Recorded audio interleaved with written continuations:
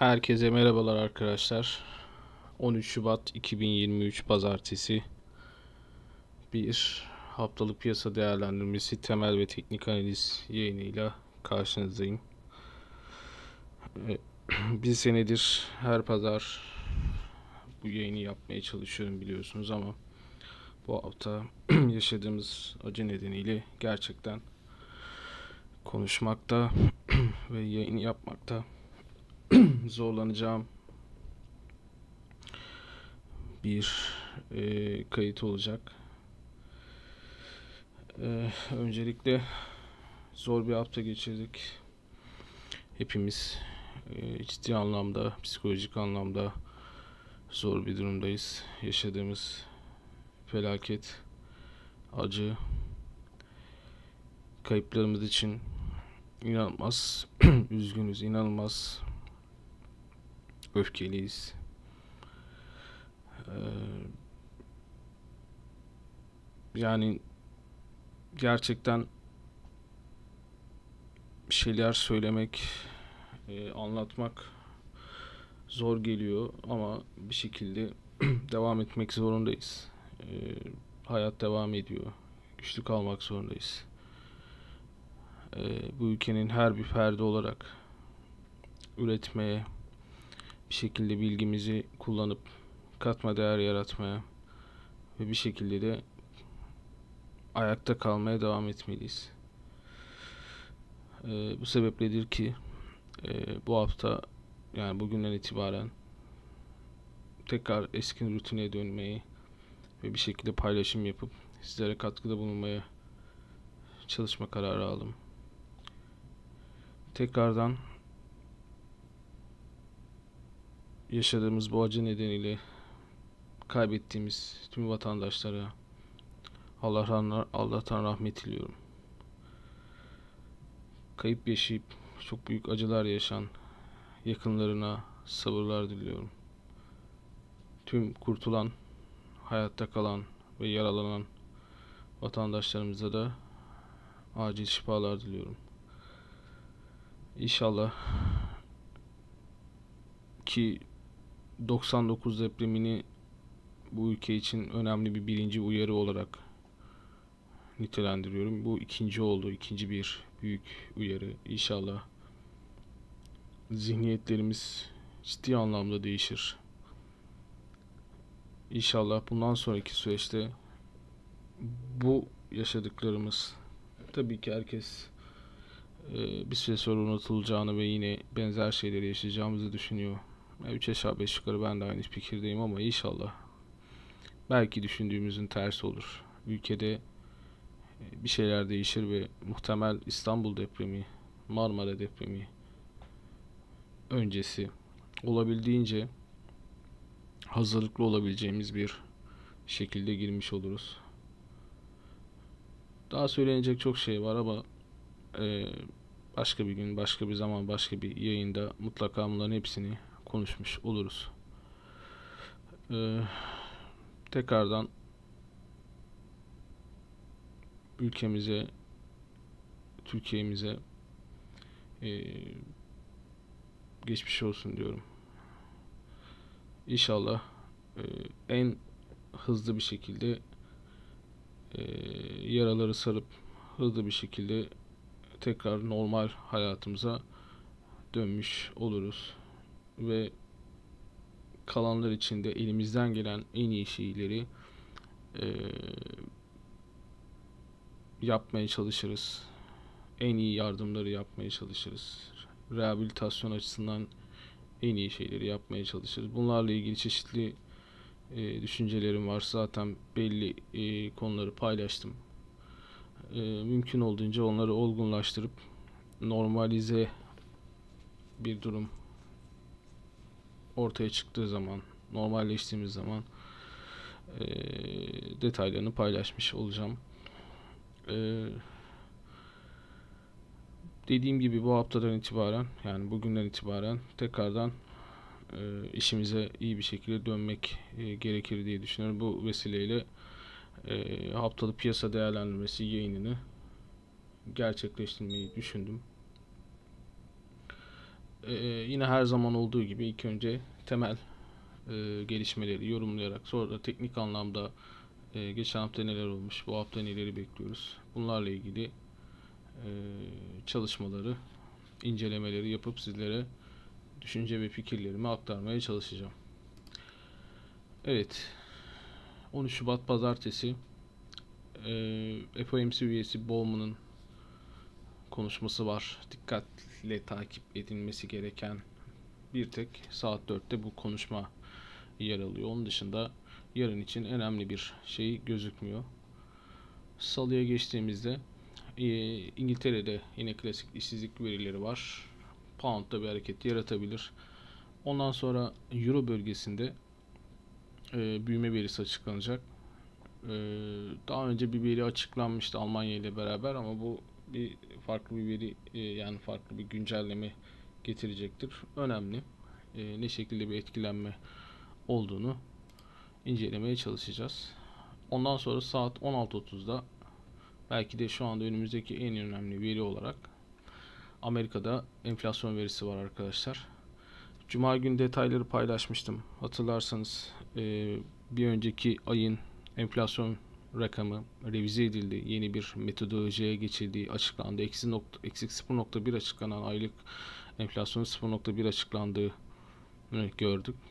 E, şimdi burada da bu ay bir önceki ayın verisi 0.1 işte güncellenen veri bunu 0.4'e çıkması bekleniyor. E, Tabi baz etkisi önceki senenin e, Ocak ayı enflasyonu yüksek olduğu için 0.4'ten baz etkisiyle 6.5'in 6.2'ye inmesi bekleniyor yıllık enflasyonun. Dolayısıyla bu rakamın altı ve üstü şu anda önemli e, hale gelmiş durumda. Eğer 0.4'ün üstünde bir aylık enflasyon gelirse her ne kadar 6.5'in altında kalsa bile piyasa beklentisinin üstünde olduğu için piyasanın buna farklı bir tepki vermesi beklenebilir. Enflasyonla ilgili daha farklı çalışmalar yapıp salı gününe kadar bu çalışmaları paylaşıp nasıl bir e, hareket gelebileceğine ilişkin e, yine düşüncelerimi paylaşmaya çalışacağım. E, yine çekirdekte 0.4 beklentisi var. Bunda ayrıca takip edilecektir.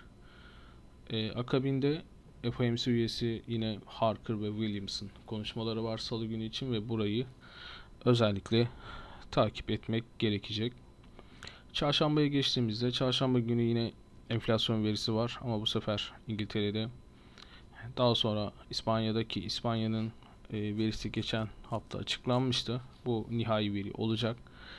E, düşük bir bek veri bekleniyordu ama onun e, beklentinin uzağında gerçekleştiğini e, gördük.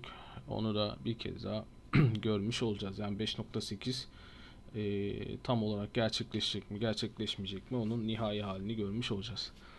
Amerika'da çarşamba günü çekirdek perakende satışlar verisi var. Ee, yine perakende satışlar verisiyle beraber sanayi üretimi açıklanacak. E, onunla da beraber Lagarde'ın konuşmasını göreceğiz saat 17'de. Nasıl bir konuşma olacağına bakmak lazım. E, konuyla ilgili yani para politikası ile ilgili bir açıklama yapacak mı yapmayacak mı onu e, takip edip ona göre çarşamba günü bilgi vermiş oluruz. Perşembeye geçtiğimizde yine Avrupa Merkez Bankası üyelerinin konuşmaları var.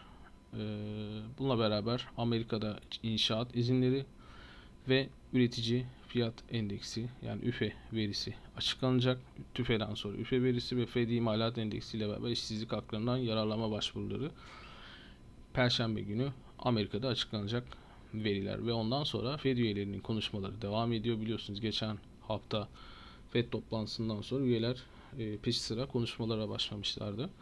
E, bu üyelerin de tabii ki gelen veriler sonrası geçen hafta kuvvetli bir istihdam verisi gelmişti ve akabinde de e, yarın şey, pardon e, salı günü açıklanacak enflasyon verisi sonrası Fed üyelerinin konuşmaları ve düşüncelerini e, piyasaya verdiğini göreceğiz ve bu bağlamda nasıl bir trend oluştuğunu da görmüş olacağız. Cuma'ya geçtiğimizde yine bir üyenin konuşması var.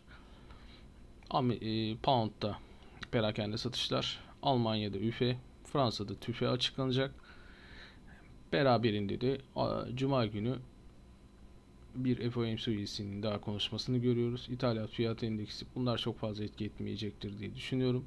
Ama genellikle e, gelen enflasyon verisi sonrası ki bir e, mutlaka e, yine sağlam bir trend oluşturacaktır enflasyon verisi. Akabinde de Fed üyelerinin konuşmaları e, dikkatle takip edilecek. E, hafta içi zaten gün gün bunlarla ilgili detayları yine aktarmış olacağım arkadaşlar.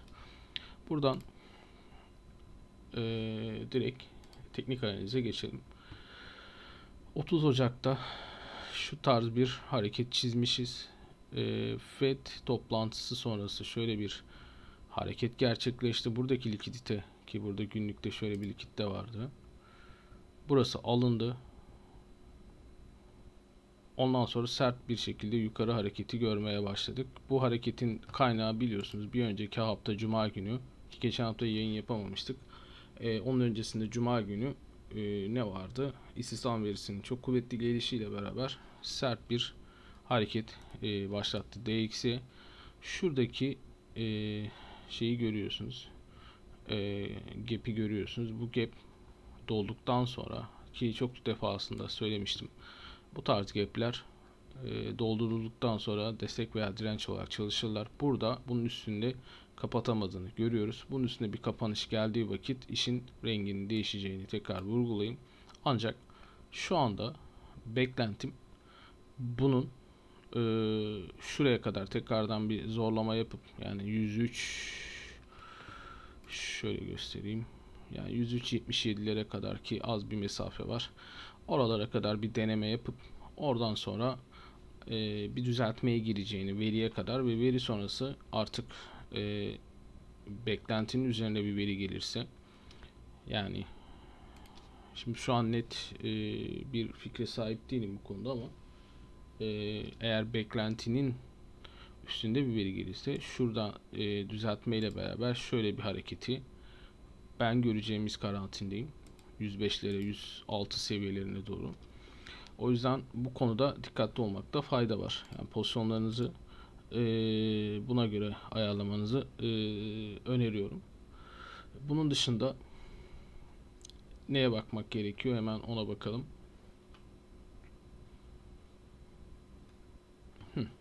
Kısa da biraz bakalım.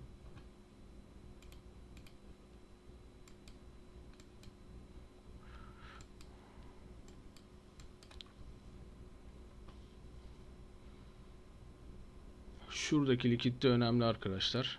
Kaldı ki şurada da bir OB var. Ee, muhtemelen burada bir tepki yiyecektir. Ondan sonra burada bir düzeltme yapıp yani yeni bir higher low yapıp yukarı gitmesi olası bir senaryo. Ee, bunu takip ediyorum. Ancak tabii ki veri eğer beklentinin altında gelirse ee, buranın net bir şekilde kırılıp düzeltmenin olacağını da e, görmek lazım. O yüzden şimdilik hani ilk ene, ilk e, düşünebileceğimiz senaryo olarak bunu e, belirleyebiliriz. Bu şekilde hareket edebiliriz.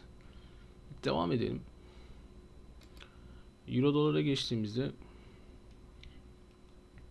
30 Ocak'ta şöyle bir şeyden bahsetmişiz. FED kararı gelince tabi sert bir hareket geldi. Ondan sonra da düşüş gördük. Ee, şurayı tam net yani aslında e, şuradaki düşündüğümüz hareket gerçekleşmiş. Yukarı hareket gerçekleşmiş ama biraz hani ben Fed'de Powell'da bu kadar şey beklemiyordum açıkçası. E, yumuşak bir Powell e, beklemiyordum. Ne oldu? E, bir onlara kadar bir e, hafiyat hareketi gördük. Akabinde de şu anda 1.06'lara kadar geldik. Şurada bir likitte var. Muhtemelen orayı zorlayacak. Benim e, gördüğüm kadarıyla. Şöyle şöyle işaretleyelim.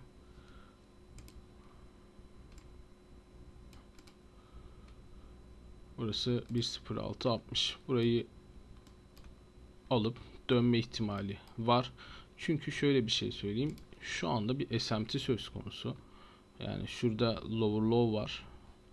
Ama DX'i bir higher high yapabilmiş değil. Ee, yaparsa tabi durum değişebilir ama onu takip etmek lazım.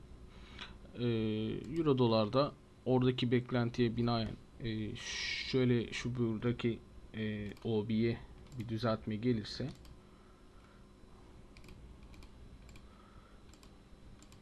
şöyle bir hareket görmemiz olası gibi geliyor bana. Ee, az önce çizdiğim DX hareketini burada bu şekilde görebiliriz. Bunu bu şekilde takip edeceğiz arkadaşlar. Devam edelim hızlıca. Altına geçiyorum. Altında buradaki kısada gördüğünüz gibi bir trend line vardı. Ee, şurası önemliydi. Ve buradan önemli bir tepki aldı. 1959'da. Aslında oradan sonra bir yukarı hareketin devamını ve şuraya kadar gitmesi bek e, beklentim vardı ama gelen istihdam verisi sonrası burada da trend kırıldı. Şurada sert bir şekilde trendin kırıldığını görüyoruz. Şuradaki yapının kırıldığını görüyoruz. Buraya kadar bir düzeltme bekliyordum açıkçası. Burası veya buradaki kırılma neticesinde burada bir mitigasyon bekliyordum ama nefesi 1890'a kadar yetebildi. Şu anda tekrardan trend doğrusunda aşağı yönlü bir hareket var. E, nereye kadar çekilebilir? E, 4 saatlik baktığımızda günlükte buradaki yapıya e, temas ettiğini görüyoruz. Buradan bir tepki aldı ama e, şu an aldığı tepki ve e, topladığı likitte yeterli gelmedi anladığım kadarıyla. Tekrardan bakın burada milimetrik bir gap var. Doldurmuş mu? Tamamen dolduramamış galiba. Bunu doldurmaya gidebilir. Gördüğünüz gibi 4 saatlik bir imbalance var. Bu imbalance imbalance'ı doldurup ondan sonra tekrardan bir hareket e, görebiliriz diye düşünüyorum e, altında. Daha sonrasında enflasyon verisi zaten e, durumu e, belli edecek. Enflasyon verisi sonrasında da e, hareketin 1824'lere yani buradaki likiditeye doğru mu yoksa tekrardan yukarıda e, buradaki düşüşün tamir edilmesi yönünde mi olacağını göreceğiz. Bu yönden takip etmeye çalışacağız. E, borsalara geçelim. S&P üzerinden e, başlayalım. Şuradaki e, kutu bizim hala e, takip edeceğimiz bir kutu olarak e, duruyor. Bir high low gelmesi durumunda ve günlükte şurası korunması durumunda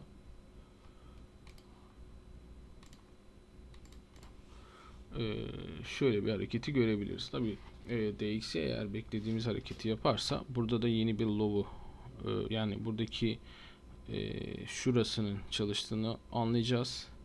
Yeni bir high'dan önce burada en azından e, ilk önce şu likiditenin 3990'lar sonra da aşağıdaki e, imbalance'ların e, doldurma niyetinin olduğunu anlayamış olacağız. Bu yönden e, takip edeceğiz. E, onun dışında neye bakmak lazım? E, 4 saatlik baktığımız zaman bakın bir high gelmiş. E, bir lower high var. Burası kırılmış. Kırıldıktan sonra şu seviyenin dikkat ederseniz düzeltmesi gelmiş ve aşağı yönlü buradaki likiditeyi almaya çalışacak. 4035 şu anda önemli. Buradaki likiditeyi aldıktan sonra veya buradaki OB'ye kadar bir e, düzeltme geldikten sonra buradaki tepkiye bakmak gerekecek. Bence buranın çalışı, e, çalışacak e, bir durumda olduğunu düşünebiliriz. Çünkü buradan sonra gelen hareketi görüyorsunuz. Genellikle bu tarz OB'lerin oluşmasından sonraki böylesi bir trend hareketi e, düzeltme geldikten sonra e, buradaki OB'nin anlamlı olmasını ve çalışmasını e, gösteriyor. Dolayısıyla 4020-4000 seviyeleri e, önemli bir destek olarak çalışacak diye görüyorum. Yani burada şu anda yönün aşağı yönlü olduğunu, e, trendin aşağı yönlü olduğunu ve buralara kadar bir düzeltmenin gelebileceğini e, belirtebiliriz. Devam edelim. E, diğer borsalara bakmıyorum. Farklı belli farklılıklar var. Birileri daha yukarıda, Birileri daha e, farklı işte bakıyorsunuz. E, Dow Jones keza öyle.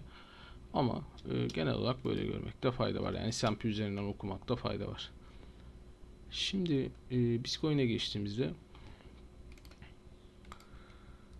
şu e, likidite alındı ve sert bir şekilde kırıldı. Şimdi burada bizim için önemli olan seviye 22.300 arkadaşlar yukarıda. Aşağıda şu bölge bizim için bir accumulation şey redistribution bölgesi.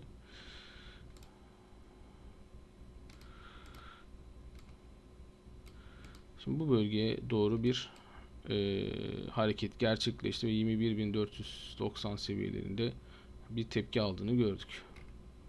Şimdi fark ettiğim bir şeyden bahsedeyim. Burada dikkat ederseniz bir high low var.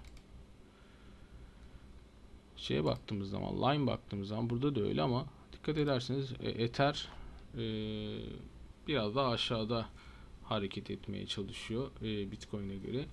E, dolayısıyla burası e, high low, burası bir lower low yapacak olursa bir e, burada da yine pozitif bir S&T durumu söz konusu olabilir ve burada bir yükselişi görebiliriz bu e, piyasalarda.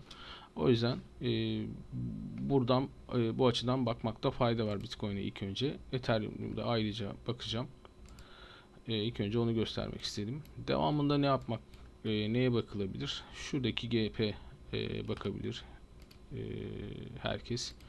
Buradan bir tepki alındığı vakit e, burada bir uyumsuzluk da kovalayabilirsiniz. Buradan bir tepki alındığı vakit kısa da 1 saatte veya işte 15 dakikalıkta e, buradan bir long pozisyonu şuranın altında stop olacak şekilde 20.800'lerin altında stop olacak şekilde bir pozisyon denenebilir. E, eğer enflasyon verisi e, olumsuz çıkarsa burada daha aşağıdaki seviyeleri 20.400'leri ve oranın da kırılmasıyla beraber sert e, burada çünkü sert bir çıkış oldu. Bunun geri alınması söz konusu olabilir. O yüzden e, gerçekten salı günkü enflasyon verisi önemli. Bu yönden e, takip etmiş olacağız piyasaları. Ethereum'da da keza aynı şekilde. Burada e, şuradaki likitte alındı. Şimdi Bitcoin'e göre Bitcoin'de de benzer bir durum varken şurası alındı bu aşağı indi. E, Ethereum'da şimdi öyle bir durum yok. Ama inildiği zaman e, gideceğimiz seviye şuradaki redistribution alanı. E, ona net bir şekilde söyleyebiliriz. Yani 1440'lar, 1402 yani bu seviyelerin arasına e, bir sert iniş görebiliriz arkadaşlar. Bu yönden e, dikkatli olmakta fayda var.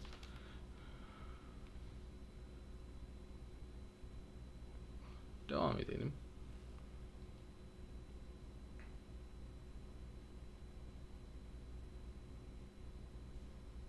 Bir saniyenizi rica edeceğim.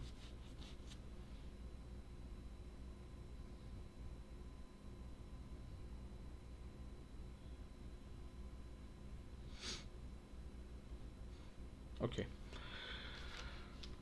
Evet, Ethereum'dan bahsettik. DXY, e, altın, S&P dedik. USDT'ye bakalım. USDT'de e, dominansta neyi görüyoruz? Günlük bakacağım önce.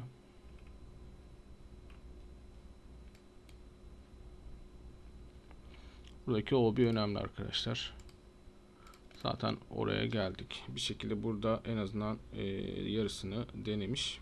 Bir noktada yine denemeye çalışacak. Onu e, ifade edebiliriz. Burada önemli olan seviye yani önemli olan nokta buradaki kutunun üstünde günlükte bir kapanış yapıp yapmayacağı yaparsa zaten e, burada ne olacağını az çok artık biliyorsunuz. Buna göre bir e, plan, aksiyon almak, e, plan yapmak da fayda var. Onu e, belirtelim. E, tekrardan eğer burada enflasyon verisi e, belirleyici olacak piyasanın aleyhine gelirse burada e, bütün kriptoda ve borsalarda önemli bir düşüşü beklemek sağlıklı olacak. E, dolar TL'ye bakmıyorum. E, borsa ile ilgili de herhangi bir yorum yapmayacağım. Mevcut durumumuzdan ötürü e, çarşamba günü açılacak çünkü. Sağlıklı bir yorum yapmak e, mümkün olmayacaktır. E, şurada bir e, high low var. High low var. Şeyde e, 10 yıllıklarda ve bir dönüş hareketi görüyoruz. Gördüğüm kadarıyla. E, ilk etapta buradaki likiditeye kadar hareket etmesini e, muhtemel olarak görebiliriz. 3.90'larda. E, yani bu, bu bize aslında e, enflasyon verisinin e, şuradaki şeyin üzerine de çıktığını görecek olursak e, beklen piyasanın aleyhine geleceğini fısıldayan bir gösterge olabilir. Önce bir gösterge olabilir. E, 3.90'lara kadar bir hareket beklemek mantıklı diye düşünüyorum. E, ondan sonra e, genel itibariyle bakacağız.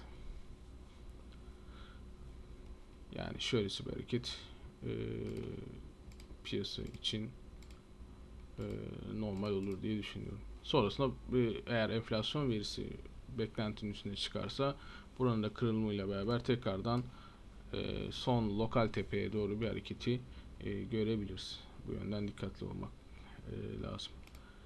Petrole bakalım. Petrolde e, 90 dolarları e, işaret etmiştik. En son bu seviyelerde konuşmuştuk diye hatırlıyorum. Gördüğünüz gibi bir high low daha var. E, bu şekilde 90 dolarlar bence bu hafta e, hedef olacak. E, buradaki reaksiyona göre de e, bir short pozisyon inşa edilebilir. Onun dışında kısa da bir pozisyon yakalanabiliyorsa nereden yakalanabilir? Saatlik bakalım. E, burada saatlikte bir sell model oluşmuş. Sonra e, durum değişmiş. Buradaki düzeltme sonrası devam eden bir yapı var. Bu bölge veya şuradaki gap'in dolumuyla beraber buradan e, bir long pozisyonu denenebilir. Buranın altında stop olacak şekilde bir pozisyon deneyebilirsiniz arkadaşlar. Petrol ile ilgili e, bu şekilde 83-84 dolarlardan 90 dolarlara doğru bir hareket denenebilir. Devam edelim. Ne kaldı? Petrolü konuştuk, şeyi konuştuk. E, son olarak o zaman e, likitte grafiğini göstermek istiyorum arkadaşlar. Bununla ilgili zaten çok fazla son zamanlarda bilgi paylaşmıştım size. E, son olarak likitte grafiğinde neyi görüyoruz?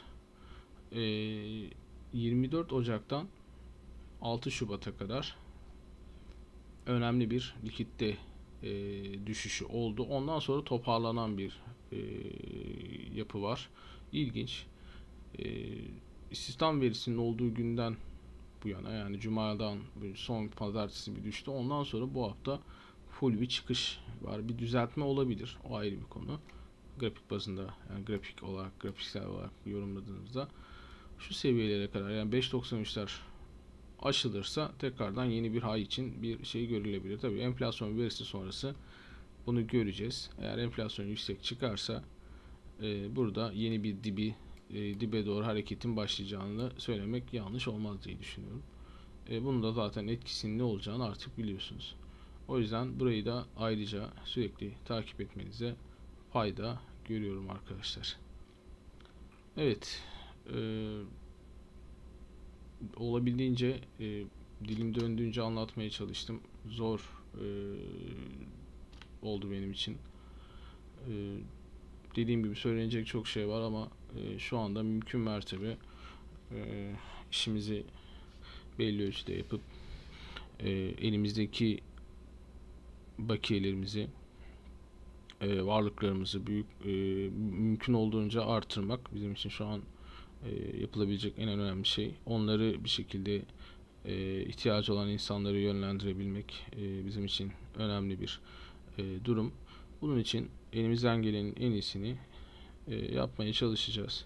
Hep beraber.